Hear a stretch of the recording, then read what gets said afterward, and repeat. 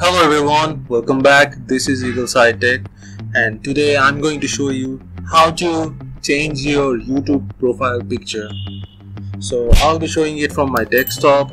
Go to YouTube and then click this profile icon, select your channel and then you can see there is an option customize channel, click this one and then you can click on your profile picture here. There is an edit icon click this one. You will be prompted uh, the command is your channel icon comes from your google account. Changes may take a few minutes to show on your channel okay? So click edit. And here change the profile picture. So this is my profile picture and uh, this cartoon figure is called Danbo. It's an Amazon product uh, it's a card box like a figure. If you want to buy this or order this you can follow the link below in the description. Now click this change and from your computer or laptop select a photo from your computer. And I'll select this one.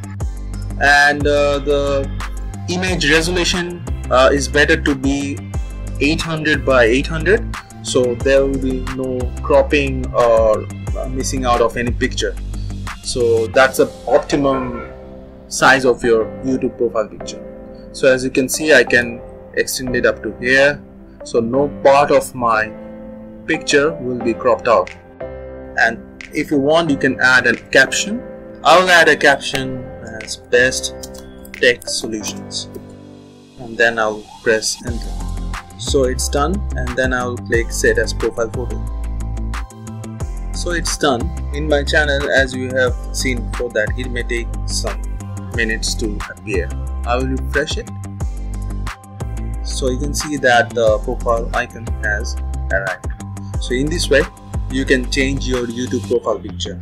Uh, if you want to know how to add a subscribe button uh, and a bell icon animated like this you can click the video above and learn the tutorial. So I really hope this video helped.